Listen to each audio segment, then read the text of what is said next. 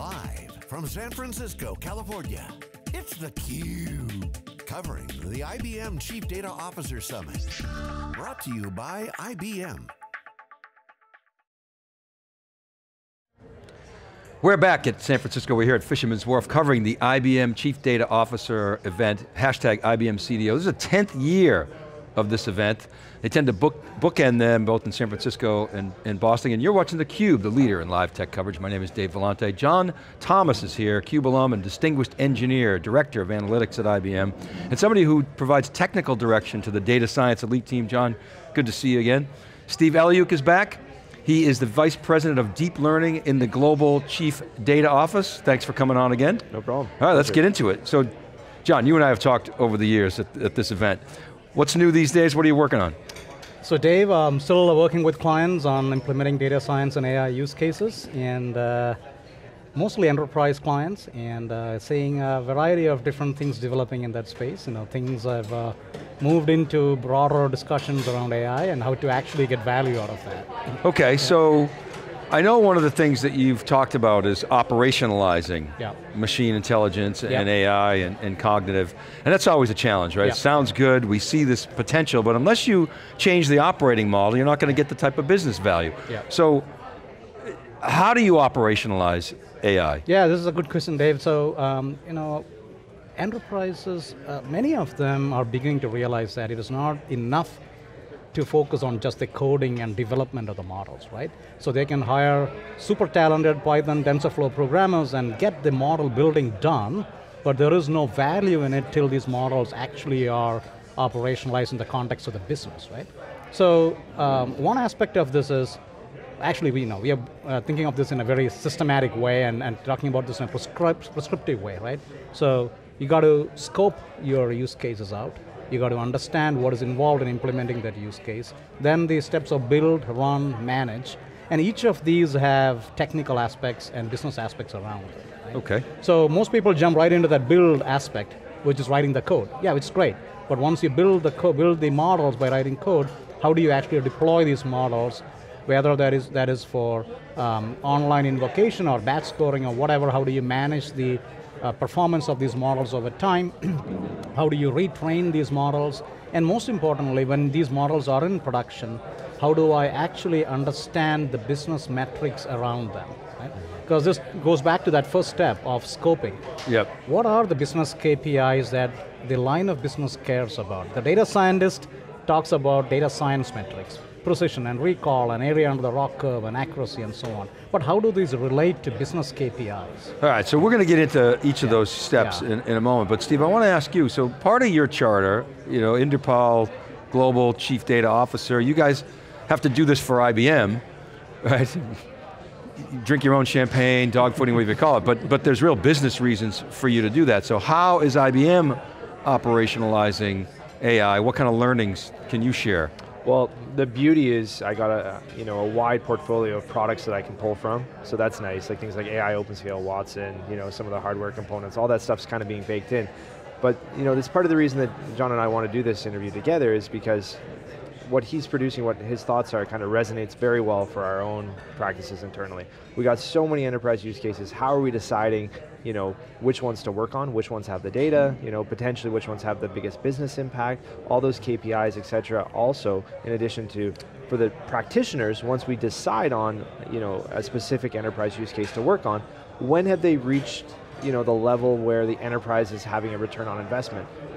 They don't need to keep refining and refining and refining, or maybe they do but they don't know these practitioners. So we have to clearly justify it and scope it accordingly, or these practitioners are left in this kind of limbo where they're producing things, but not able to iterate effectively for the business, right? So that process is a big problem I'm facing internally. We got hundreds of internal use cases, and we're trying to iterate through them. There's an immense amount of scoping, understanding, et cetera, uh, but at the same time we're building more and more technical debt, as the process evolves, Yeah. you know, being able to move from project to project. My team is ballooning.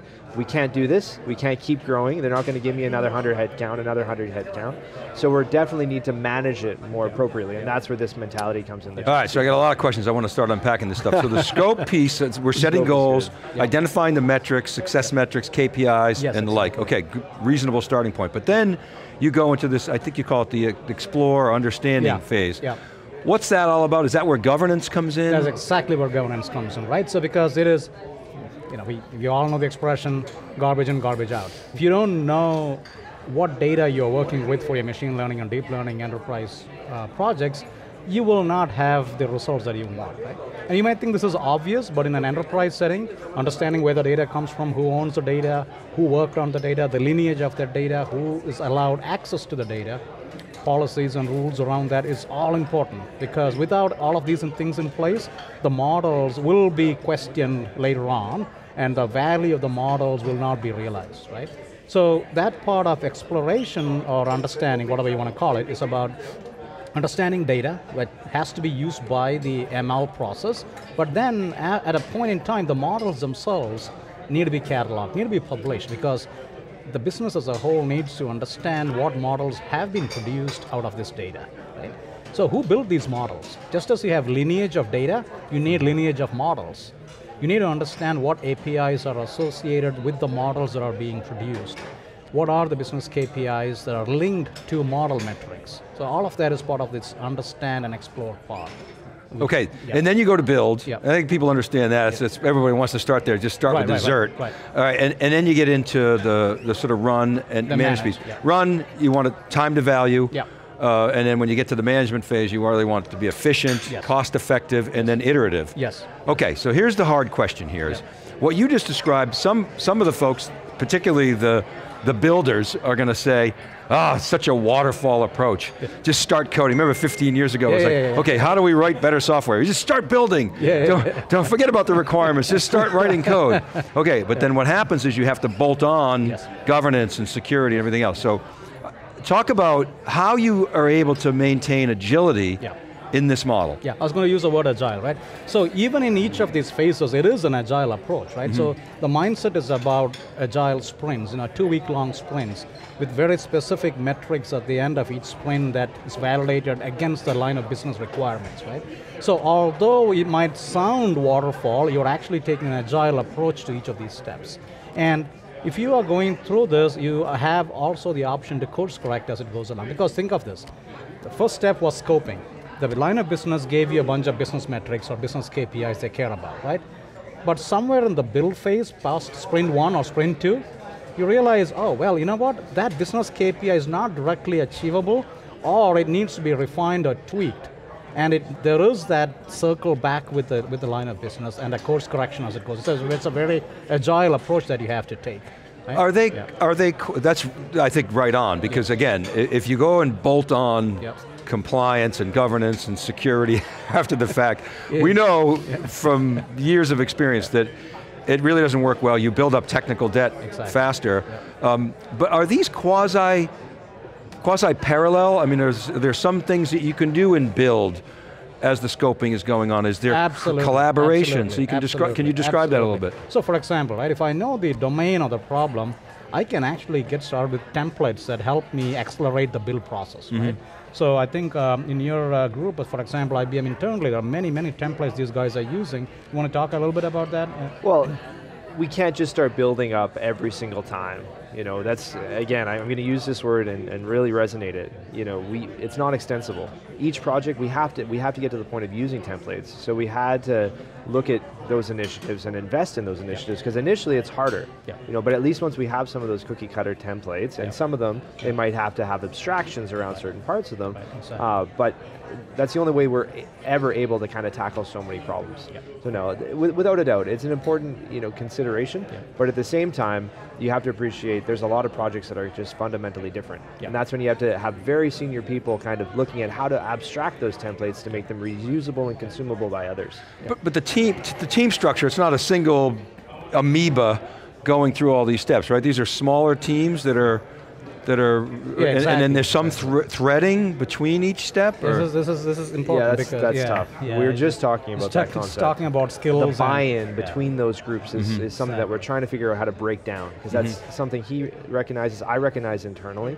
Uh, but understanding that those people's tasks, they're never going to be able to iterate through different enterprise problems unless they break down those borders and really invest in the communication and you know building those tools. Exactly. We talk about full stack teams, right? So you, it is not enough to have coding skills, obviously. Right. Um, you know, what is the the skill needed to get this into a run environment, right? What is the skill needed to take metrics like, um, you know, uh, like uh, not metrics, but explainability, fairness in the model, etc., and map that to business metrics. That's a very different skill from Python coding skills, right? Right. So full stack teams are important, and at the beginning of this process, where someone line of business throws a hundred different ideas at you, and you go to you have to go through the scoping exercise.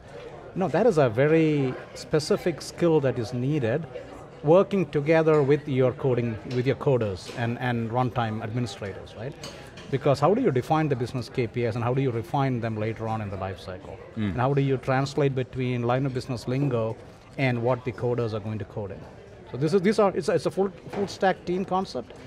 It may not necessarily all be in one group. It may be, but it, they have to work together across these different silos to make it successful. All right, guys, we got to leave it there. The trains are backing up here at uh, IBM CDO conference. Thanks so much for, for sharing the perspectives on this. Okay, Okay, pleasure. thank All you. right, keep right there, buddy. You're watching theCUBE from San Francisco. We're here at Fisherman's Wharf, the IBM Chief Data Officer event. Be right back.